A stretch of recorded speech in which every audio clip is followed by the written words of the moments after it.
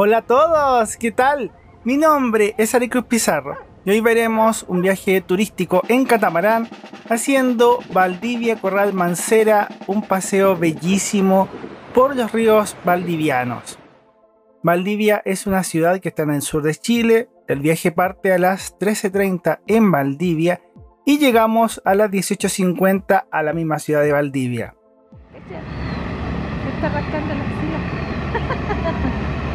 Sí, comenzamos con un lobo marino rascándose.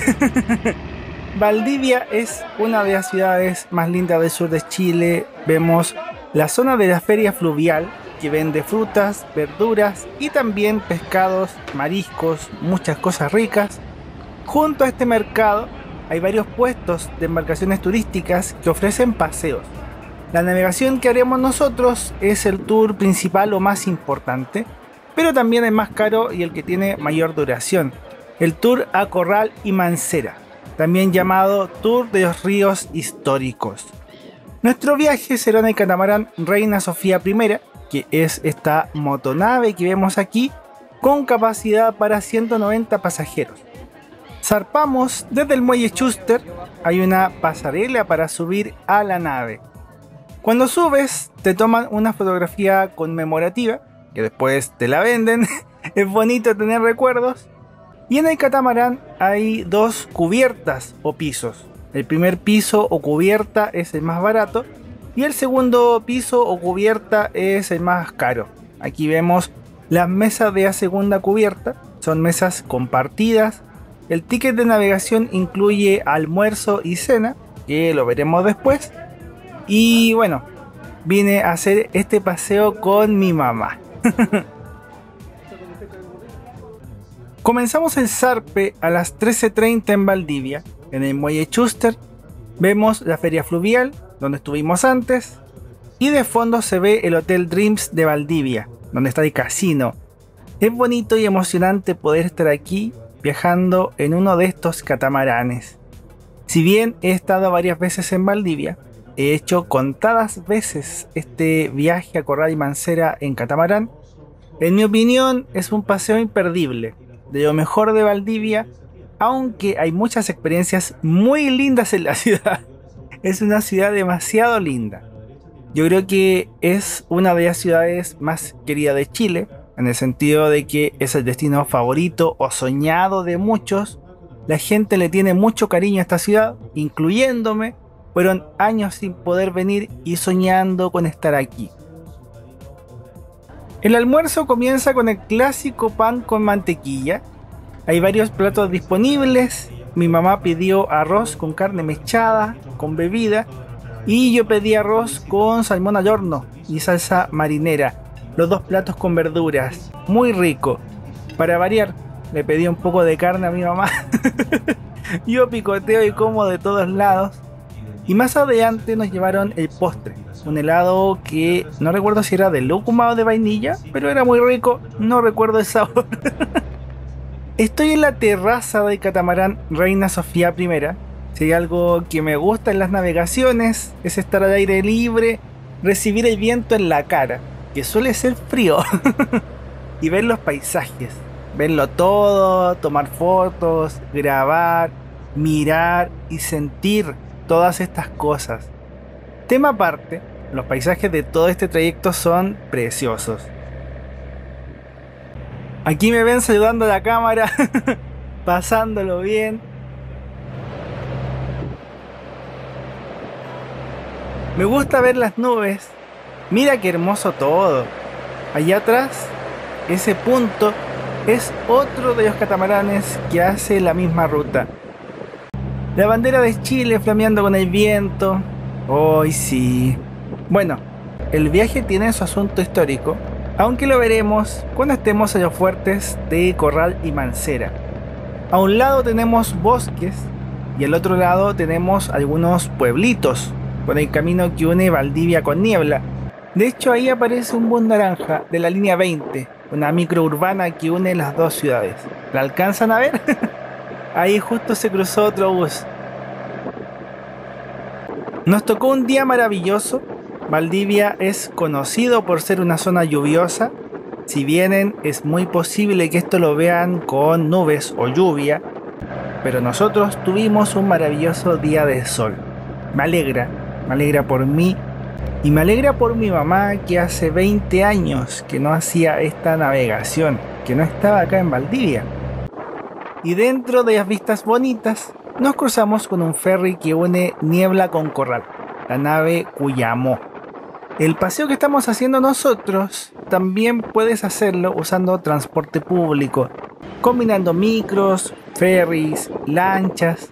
Otra nave que hace la misma ruta es Andalien, que la estamos viendo pero de lejitos. Cada vez nos acercamos más hacia el mar, aunque no llegaremos al mar, siempre nos mantendremos en la zona del río. Algo que me gusta es ver y tomar fotos de los buses de la línea 20 desde aquí. Esa micro hace un viaje muy bonito. Esto es un muelle, no estoy seguro porque nunca he hecho el cruce, pero podría ser el muelle del ferry a Corral. Ahí ustedes lo pueden confirmar. Junto con el transporte a Corral, también hay lanchas que van a Mancera, Isla del Rey y debe haber otros servicios más. A la derecha Vemos la orilla norte del río Valdivia, donde está niebla y el camino sigue hacia otras playas. Y también podemos ver la desembocadura, el Océano Pacífico, el mar. ¡Qué emocionante! Los catamaranes hacen rutas alternas. Esta vez nos tocó visitar primero Corral, pero a veces toca ir a Mancera primero. Me imagino que alternan para no quedar todos en el mismo lugar y hora porque son como tres o cuatro naves que hacen esta ruta. Dentro de poco estaremos ahí, en la ciudad de Corral. Hemos llegado al muelle de Corral. Corre algo de brisa, te escucha fuerte, pero no es tanto. Es rico y fresco el, el vientito. Corral es una ciudad que está en la ribera sur del río Valdivia. Desde la costanera es posible ver el muelle y tomar fotos bonitas del catamarán, como la vista que estamos viendo con uno de los cerros o lomajes que tiene Corral en la ciudad. Se ve precioso. En Corral pasamos por la plaza de la ciudad y la municipalidad. Nosotros tenemos que subir una pendiente corta porque iremos al fuerte San Sebastián de la Cruz, también llamado Fuerte de Corral, un museo histórico Éramos varios, el catamarán estaba casi lleno. Hay que pensar que el verano es la época donde vienen más turistas y esa es la razón por la que llegamos en estas fechas. Ocurre algo especial en Corral en el verano, por eso es bueno venir en verano. La entrada al fuerte era de 2 mil pesos, cerca de 2 dólares. No me gusta mucho ver o tocar temas bélicos, pero es parte de nuestra historia. La bahía de Corral tenía un sistema de fortificaciones defensivas españolas para evitar las invasiones, los piratas, todo eso que ocurría hace siglos atrás. Y en los veranos, un hito genial es que hacen recreaciones históricas de la toma del fuerte de Corral. Por eso quería venir en estas fechas. Había vivido esta recreación, pero nunca había grabado nada de eso y hay muy pocos videos. Desde el punto de vista militar, esto fue toda una hazaña y también una parte importante de la independencia de Chile. Decían que se necesitaban por lo menos 40 barcos bien artillados y unos 5.000 hombres de infantería como mínimo para tomarse los castillos. Recursos sobre todo en el aspecto naval que la naciente República de Chile para nada contaba. ¿Quién tomó este desafío? fue este notable estratega marino y militar inglés, Thomas Alexander Cochrane. Los cálculos navales decían 40 barcos bien artillados. Cochrane vino solamente con tres, el Intrépido, la Moctezuma y los Higgins, 5.000 hombres de infantería como mínimo. A la pocha estas fortalezas fueron tomados por 350 soldados. Valdivia y Chiloé seguían teniendo dominio español cuando esto ocurrió con los cisnes de cuello negro nadando en el río y el transportador que une Corral con Niebla, en el fuerte comenzamos a ver la recreación histórica, la dramatización que se hace desde 1995, una tradición muy genial de esta batalla, de los días 3 y 4 de febrero de 1820.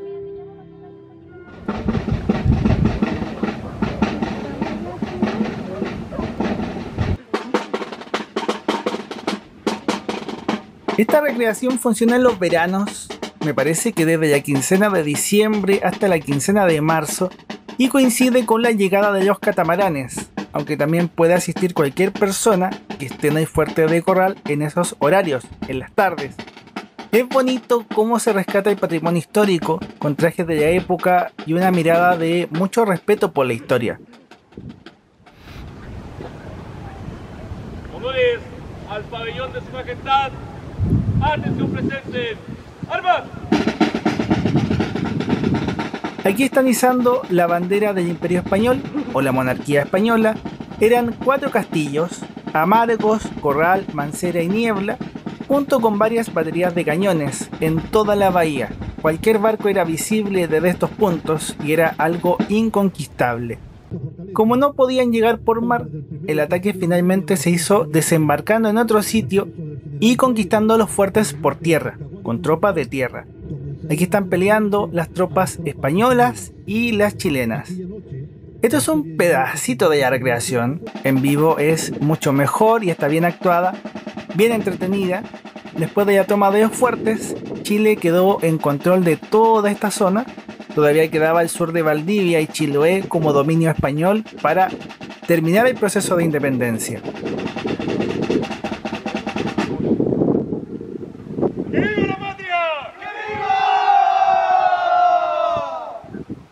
a nombre de estos jóvenes, todos estudiantes de la comuna de Corral y a nombre de nuestra municipalidad y del departamento, del departamento de Turismo, le damos las gracias por visitarnos y por preferirnos. Que tengan un feliz retorno a vuestras ciudades de origen. Los muertos que vuelvan a la vida. Después de la recreación, puedes tomarte fotos con los soldados por una propina. Es una instancia bien divertida. Como dijo el locutor, los actores son estudiantes de los colegios de Corral. Son chicos de 16 años, 18 años, de ambiente súper buena onda, incluso con tintes de humor negro en algunas fotografías. Aquí se aprecia mejor el fuerte de Corral, con los túneles y toda la infraestructura que tenía. Al mando de las tropas chilenas estaba Tomás Cochran, Jorge Bochef y Guillermo Miller. Los tres también participaron de la independencia de Perú posteriormente. Cochrane y Miller eran ingleses y Bochef era francés. Y ahí va llegando otro catamarán. También en el fatídico terremoto y maremoto de 1960, las aguas del tsunami llegaron hasta acá arriba. Fue una cosa monstruosa. En el muelle de Corral estaba el catamarán Reina Sofía I, y llegó el Marqués de Mancera, que es otro de los catamaranes que tengo entendido que tiene esta empresa. Ese es un poquito más antiguo. En el muelle también estaba el catamarán Reina Sofía, sin número, solito. Y nuestro catamarán Reina Sofía I, que son de distintas empresas por lo que tengo entendido. Nosotros ya teníamos que subir para navegar. Esto es una visión panorámica general de la primera cubierta del catamarán Reina Sofía I. Varias mesas, capacidad para 100 pasajeros acá abajo. En el primer piso están los baños. Este es el baño de hombres. Y así es por dentro. El baño de este catamarán turístico, un baño sencillo y funcional. Afuera estaba el catamarán Neptuno, otro más que hace la misma ruta, lo mostraré con fotos después. Estamos llegando ya hacia la isla Mancera. No alcancé a ver casi nada de este trayecto porque fui al baño y al salir ya tocaba salir.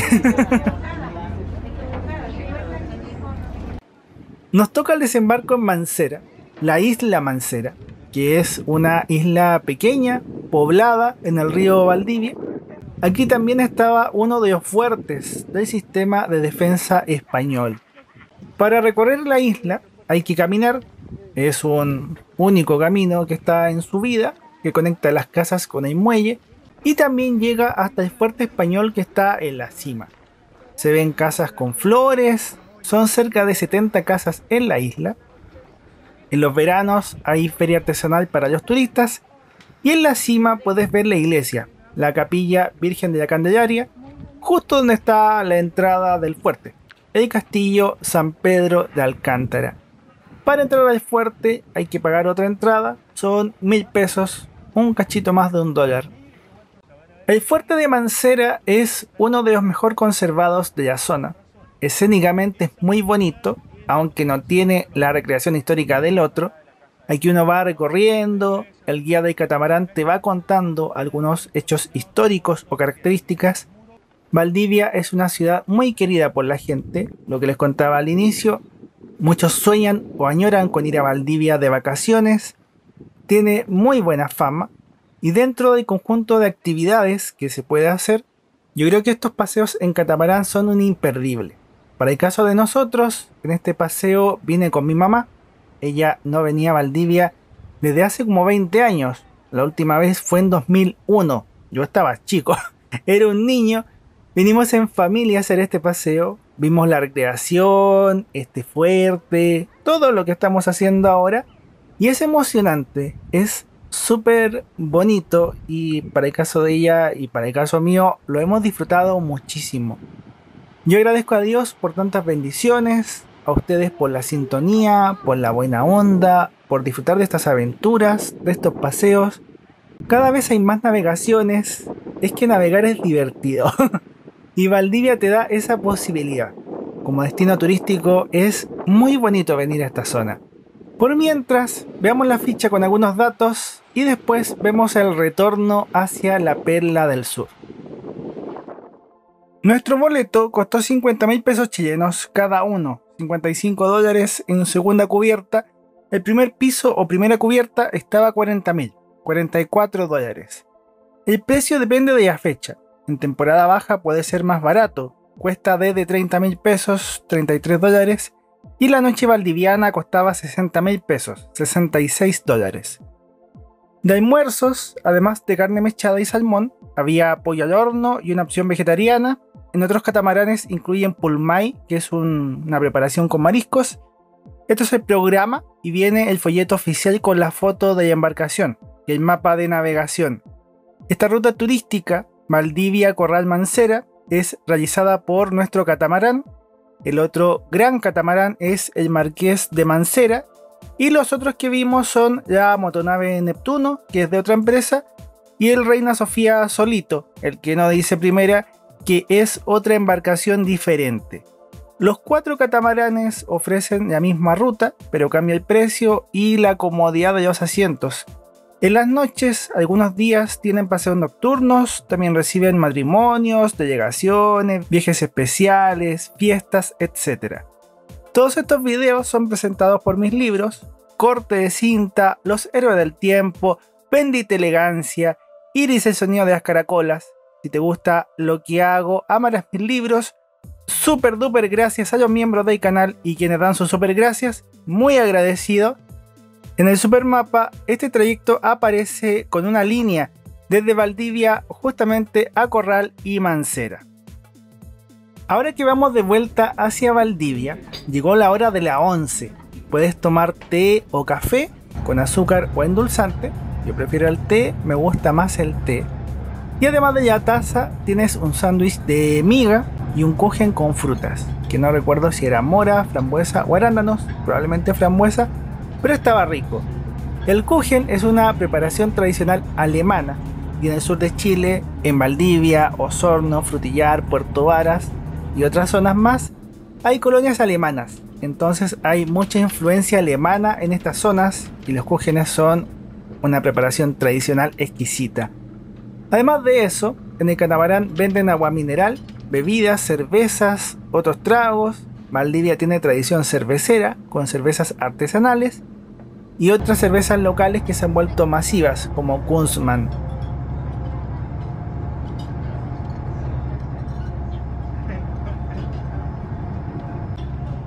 Justo en el viaje nos cruzamos con la otra reina Sofía, que es uno de los catamaranes que cubre esta ruta.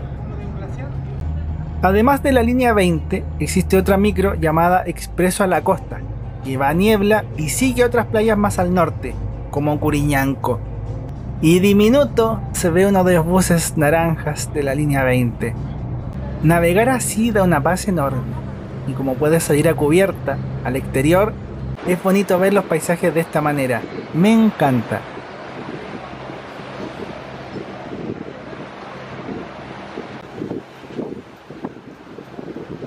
Esto es la vista de la primera cubierta. Ahí está el capitán y la tripulación a cargo del catamarán. Y nosotros como turistas.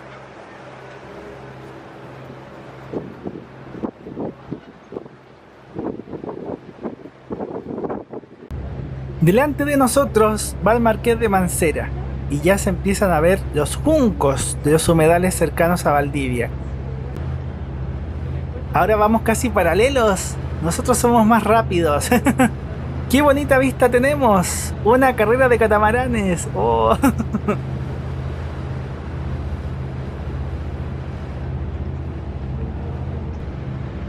y ahora lo pasamos. Qué hermosa postal acá en Valdivia. Muy linda.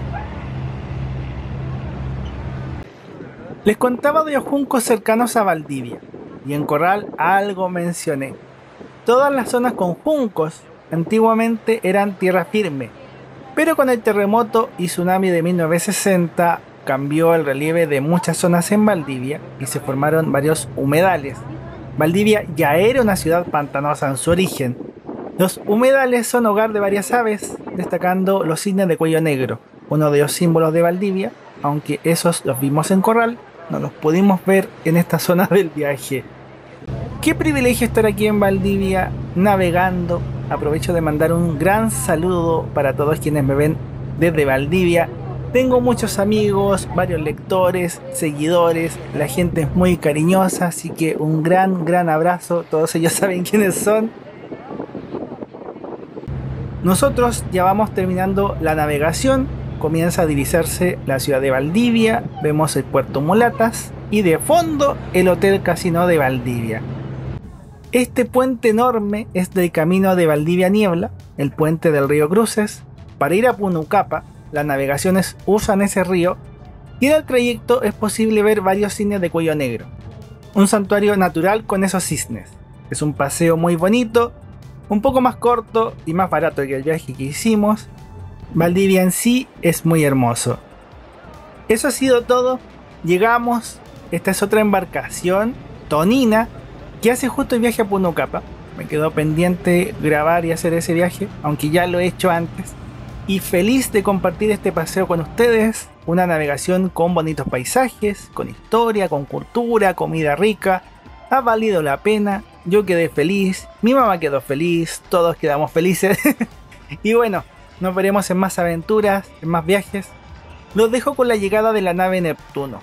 Que Dios los bendiga mucho, mucho, mucho. Chau, que esté muy bien.